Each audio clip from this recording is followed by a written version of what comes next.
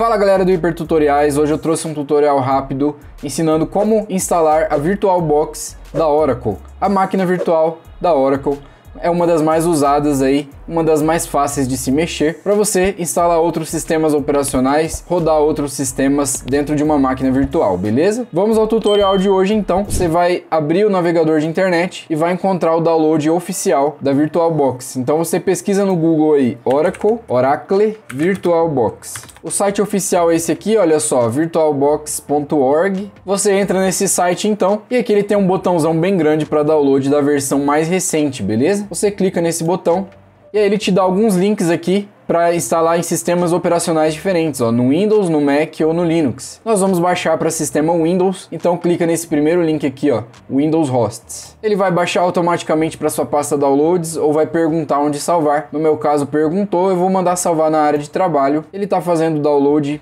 é relativamente rápido.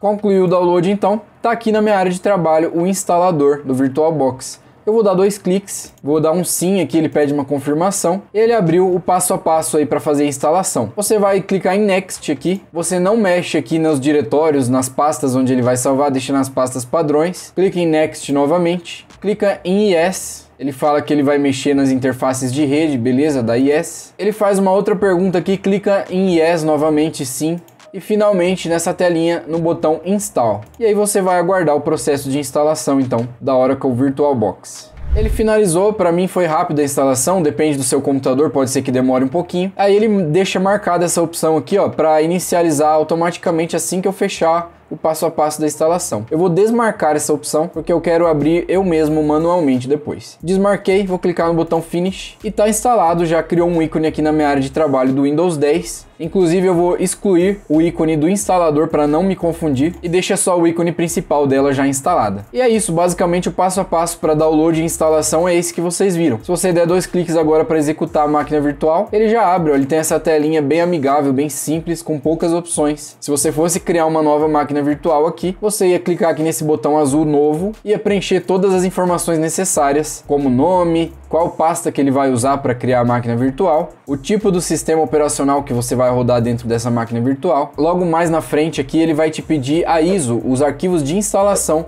do seu sistema operacional. Lembrando, se você vai instalar um sistema operacional em um computador normal, você precisa do pendrive de instalação ou CD de instalação. Se você for instalar dentro de uma máquina virtual, é como se você estivesse instalando dentro de um computador de mentirinha, que é um computador dentro do seu computador. Então ele vai te pedir esse arquivo ISO, também chamado de imagem de instalação, que nada mais é do que um arquivão compactado com os arquivos de instalação do sistema operacional. Mas isso fica para um outro tutorial. Espero que tenham gostado do vídeo de hoje. Se gostou, deixa um like like. Eu te espero nos próximos vídeos. Valeu!